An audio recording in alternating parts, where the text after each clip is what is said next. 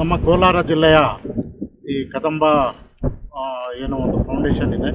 ಅವರ ವತಿಯಿಂದ ವನ ಮಹೋತ್ಸವ ಒಂದು ಕಾರ್ಯಕ್ರಮವನ್ನು ಹಮ್ಮಿಕೊಳ್ಳಲಾಗಿದೆ.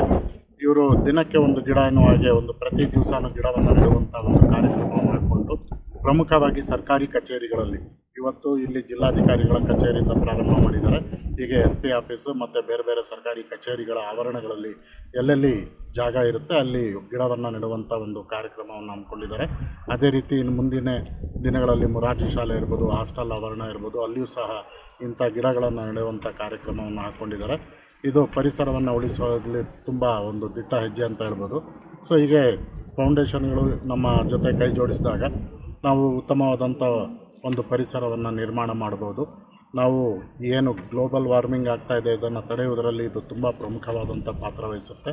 ನಾವುಗಳೆಲ್ಲ ಇದನ್ನು ಎಚ್ಚೆತ್ಕೊಂಡು ಇದಕ್ಕೆ ಹೆಚ್ಚೆಚ್ಚು ಜಾಗೃತಿಯನ್ನು ಮೂಡಿಸಿ ಬೇರೆ ಬೇರೆ ಸಂಘ ಸಂಸ್ಥೆಗಳನ್ನು ತೊಡಗಿಸಿಕೊಂಡು ಅದೇ ರೀತಿ ನಮ್ಮ ಫಾರೆಸ್ಟ್ ಡಿಪಾರ್ಟ್ಮೆಂಟ್ನವರು ಸಹ ಕೈ ಜೋಡಿಸ್ತಾ ಇದ್ದಾರೆ.